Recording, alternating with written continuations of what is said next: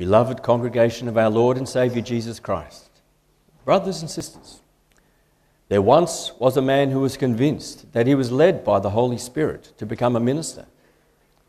As far as he was concerned, everything pointed to it. He was very sincere. He was full of zeal. He had become a recent convert and had thrown away his former way of life. He no longer drank, or smoked, or used bad language. He no longer went to wild parties. He regularly attended church. He sent his children to a Christian school. He was convinced in every way that he was being led by the Holy Spirit to become a minister. Even though he had a large family, he also had the financial means to pursue the ministry. His wife and children were behind him, and so were many others. So he sold his house, gave up his job, and studied for four years at the university and then another five years at the theological college. He then became a minister, but he only lasted four years in the ministry. Then he quit. He also stopped going to church. He even stopped believing. How could that happen? Did the Holy Spirit make a mistake? Did the Holy Spirit mislead him? Brothers and sisters, the Holy Spirit does not make mistakes. The Holy Spirit is God and He is perfect. Men, however, make mistakes. Therefore, we have to be careful when we speak about being led by the Holy Spirit. Sometimes you'll hear someone say that he or she is being led to a certain action. They will say, for example, that the Holy Spirit told them to take a different job or to move to another town. Or they will say that the Holy Spirit wants them to go to another church, or even that the Holy Spirit is leading them to seek a divorce. So the question is how do you know what the will of the Holy Spirit is? How does the Holy Spirit lead you? How does the Holy Spirit guide you to make certain decisions? How does God direct our lives? This is what we will deal with today. Our sermon is about the guidance of the Holy Spirit.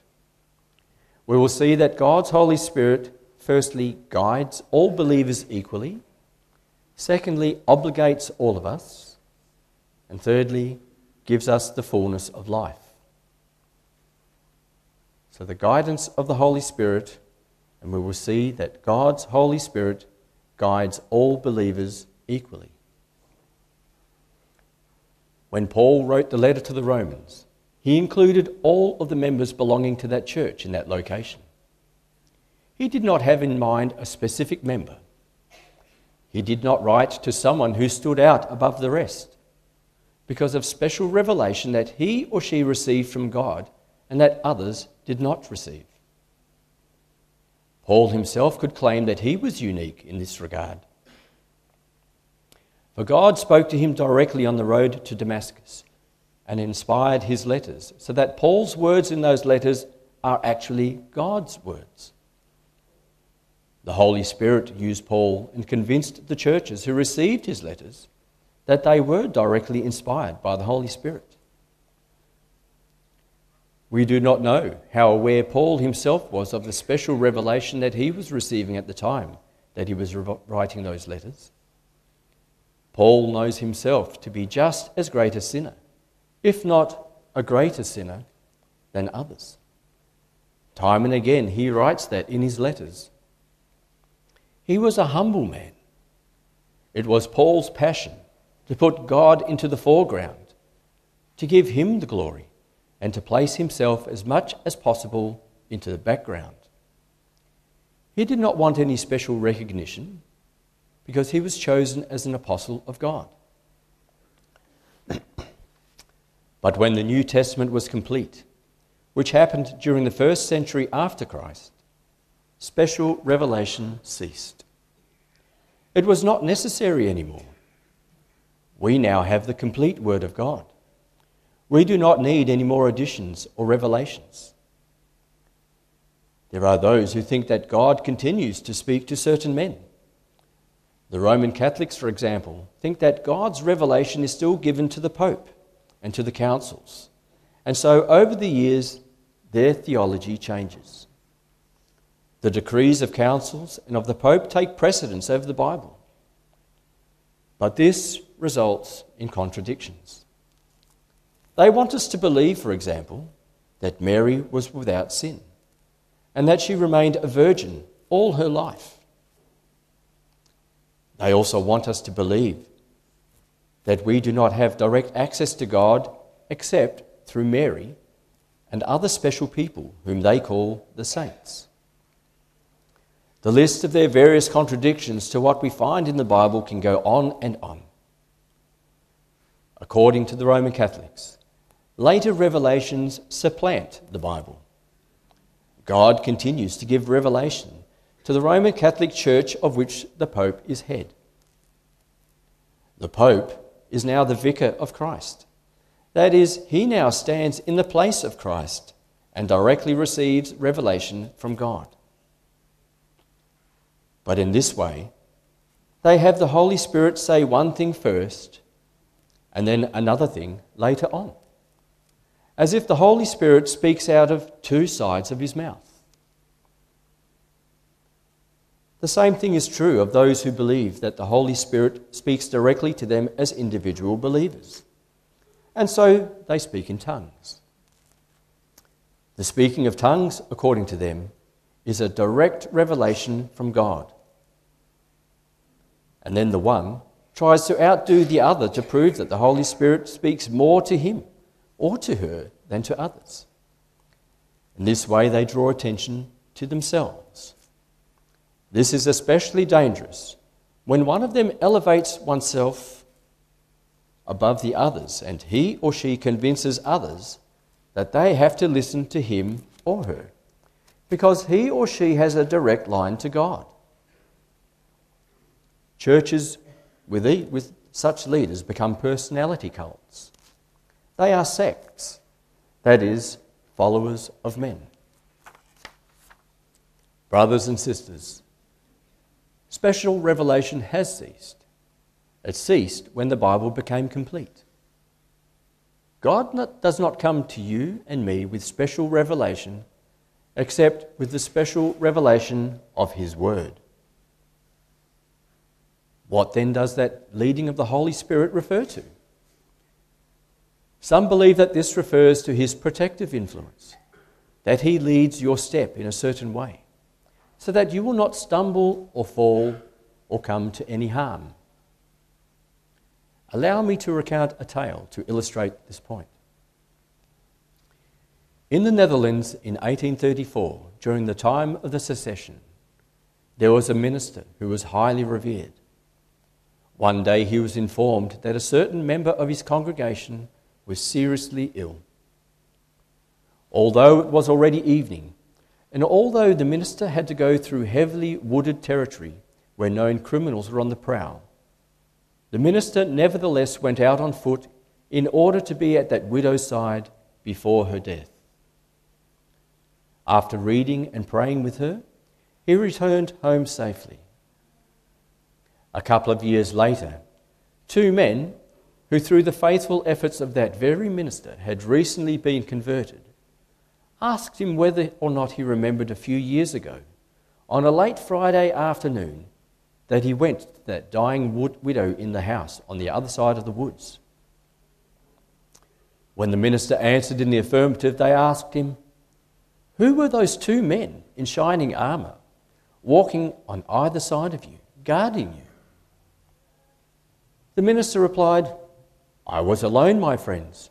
I was all by myself, neither going nor returning. No one accompanied me. That's strange, they said, for we distinctly saw them. It made us afraid. So we hurried away. We are so glad that we were prevented from getting out our sinister plot. The commentator who related this story said that this was a popular story often told to indicate that this minister must have been one of the special saints of God, who was led by the Spirit, and that he was the object of exceptional divine protection. But, says the commentator, this is not what Paul has in mind here in Romans 8, verse 14. The reference here is not to the gift of the Spirit to a select few. Every child of God is led by the Holy Spirit. That does not mean that God does not protect us. Certainly it does. It may well be that the story about that minister really did happen. However, stories can often take on a life of their own. But if it did happen, but it did not happen so that we can elevate the one person above the other as one of God's special people. We are all God's special children. All the believers are led by the Holy Spirit. We do not have a class of special saints, as the Roman Catholic Church does. If you are a child of God, then the Holy Spirit is leading you, all of you. We come to the second point, namely, the obligation that the Holy Spirit lays upon us.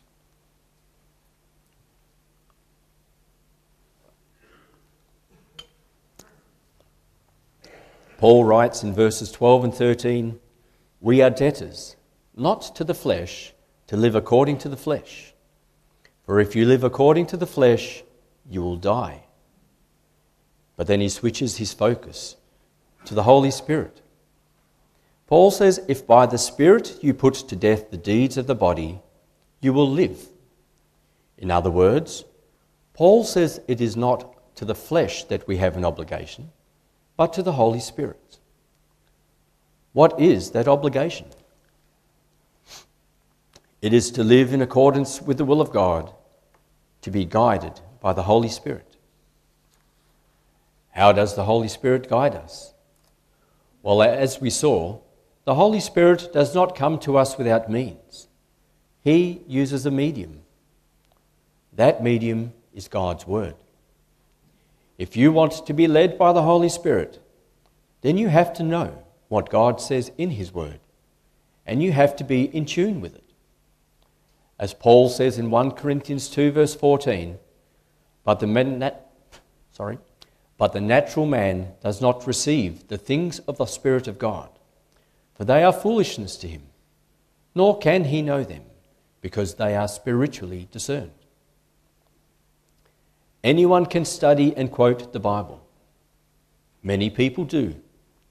The modern media, or legislators, for example, will quote certain statements from the Bible, not in order to convince others of the truth of it, but in order to defeat a certain Christian point of view. They deliberately quote the scriptures out of context in order to prove their own point. That's also how Satan used scripture. In order to tempt the Lord Jesus in the wilderness, he quoted from the scriptures that God would give him special protection.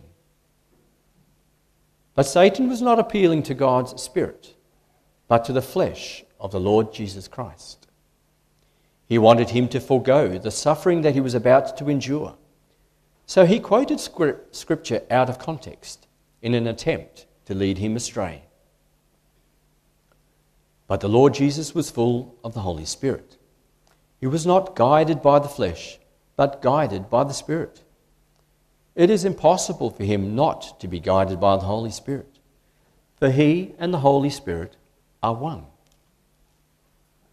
It is that unity that Paul also shows here in Romans 8. For he says in verse 9, But you are not in the flesh, but in the Spirit. If indeed the Spirit of God dwells in you. Now, if anyone does not have the Spirit of Christ, he is not his. The Spirit of God is the Spirit of Christ.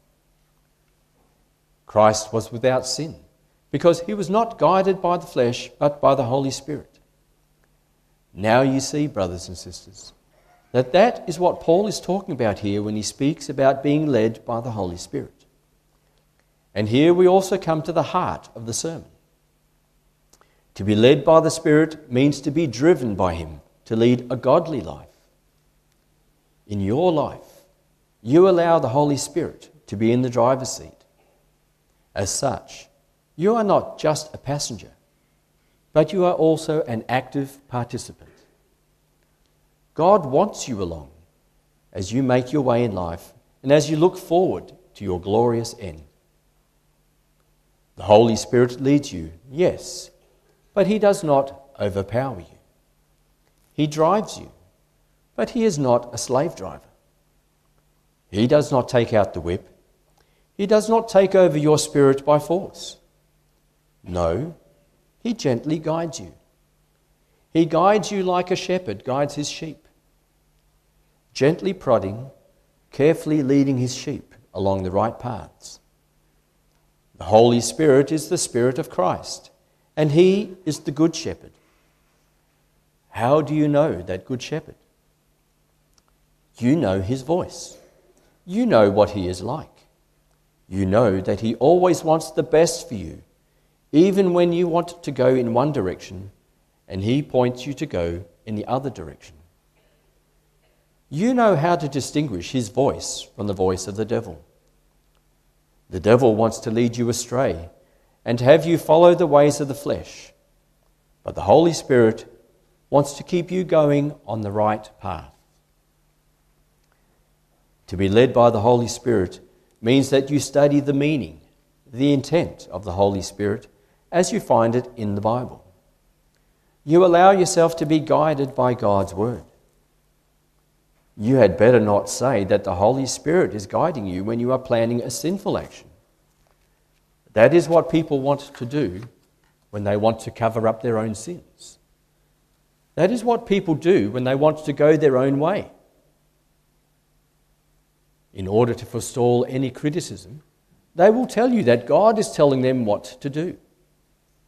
In other words, I have a special revelation from God and that makes me more special than you. I have greater insight than you do. Brothers and sisters, that is not only arrogant, that is also playing right into the hand of the devil.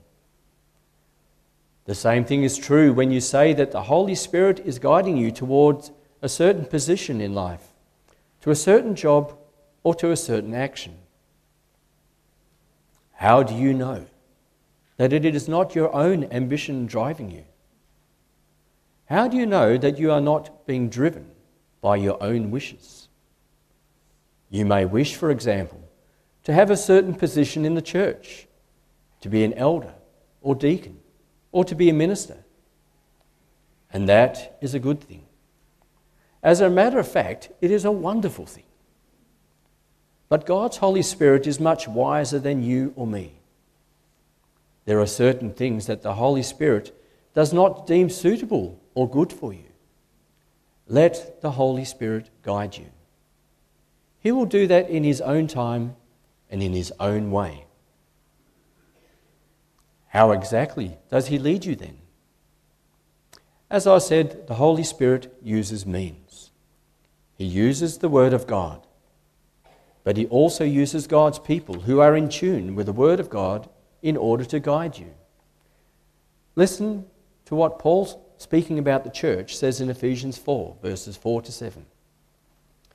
There is one body and one spirit, just as you were called in one hope of your calling one Lord, one faith, one baptism, one God and Father of all, who is above all and through all and in you all. But to each one of us, grace was given according to the measure of Christ's gift. After speaking about that, he speaks about the office bearers in the church, that they also that they are also used by God as a means to guide God's people. They are God's gift. Paul says in the verses 11 to 13, and he himself gave some to be apostles, some prophets, some evangelists, and some pastors and teachers, for the equipping of the saints for the work of ministry, for the edifying of the body of Christ, till we all come to the unity of the faith and of the knowledge of the Son of God, to a perfect man, to the measure and of the stature of the fullness of Christ. The devil is very clever and cunning. He will try and make you believe that your will and way is God's will and way. Sometimes we get confused. We want something so bad that we become convinced that it is God's will that we have it. And sometimes we get so entrenched in our own way of thinking that we think we are going on the right path, even though we are on the wrong path. That is why God gives you the church and the office bearers in the church. They have been given, as it says in Hebrews 13, verse 17, the authority to, uh, for they watch out for your souls as those who must give account. Therefore, it says in that verse, Obey those who rule over you and be submissive. The office bearers are given to the church to keep you on the right path, to warn you when you are going wrong, to encourage you to do the right thing. They are there to be a good example to you of what it means to lead a godly life. They have a great responsibility. Does that mean that they cannot make mistakes? Of course not. They can, and they do make mistakes. As they lead the flock, they have to constantly ask themselves whether or not they are being led by the Spirit as He has revealed Himself in God's Word. But their collective opinion as to what the will of God is gives greater weight than the opinion of an individual believer. Collectively, we have much greater objectivity. That is why it says in Proverbs that a fool is someone who does not listen to the counsel of others. Please remember that when we talk about the office bearers, we are not just talking about a collection of individ- individuals, but rather those who have been given leadership in the church. They have been ordained to rule the church. Let us not forget that the church is called the pillar and ground of the truth. 1 Timothy 3. The office bearers have promised to allow themselves to be corrected by the truth of the Bible.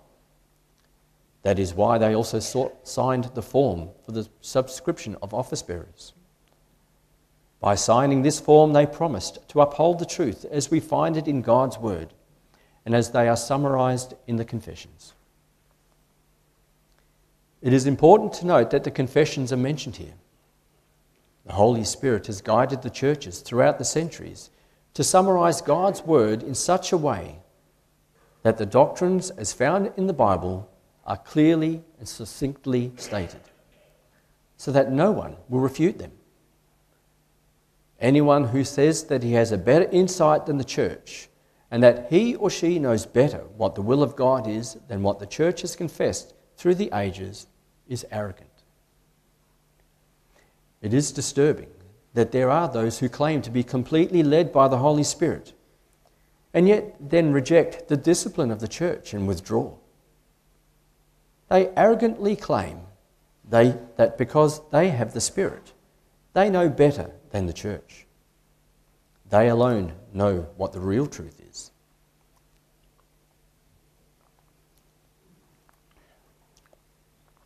As brothers and sisters in the Lord, we walk humbly amongst one another. We do not elevate anybody to special sainthood.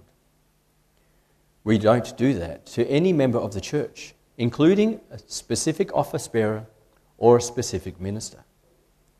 We are all sinful children who need to be led by the Holy Spirit, who guides us in the truth of God's Word we have to remember that we must submit ourselves to God. God knows a lot more than we do. Only He is wise. Only He knows what direction our life should take. Therefore, as a believer, you have to trust the Lord. You have to trust that if you do the right thing, that then God will also bless you, that He will give you the fullness of life. That brings us to our third and final point.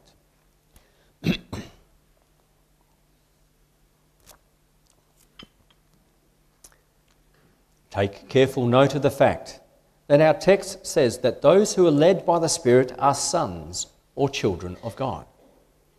The present tense is used. It doesn't say that they will become children of God. No, they are children of God. The Apostle Paul points that out further in verse 16. The Spirit Himself bears witness with our spirit that we are children of God. Paul writes this to the believers at Rome and therefore to all believers. That also applies to you and to me. The Holy Spirit confirms us in our faith. You don't need special revelation directly from God in order to confirm you in your faith. All you need to do is believe the Bible and to live in accordance with it. All you have to do is to believe the promises found in the Bible. Although the covenant is not mentioned here in this passage, Paul nevertheless uses covenantal language. He first speaks about the promise of God, namely that he makes us children of God through the Holy Spirit. And then he speaks about the obligation that we have to the Holy Spirit. Once again, God calls us to respond to this work within us. God has taken residence in you, and therefore now you are called a temple of the Holy Spirit. Once you respond to that work within you, then you are also confirmed in the Holy Spirit. Every time you repent from your sin and you ask the Lord for forgiveness, then the Holy Spirit renews you. For then you know everything is well again between you and the Lord God. He gives you new direction. You are given direction through your conscience, which is shaped by the Spirit of God. For God's Word has taken up residence within you ever since you were a little child or you became a Christian. Now your conscience accuses you when you do something wrong. And then you can either follow the Holy Spirit or you can follow the flesh or the devil.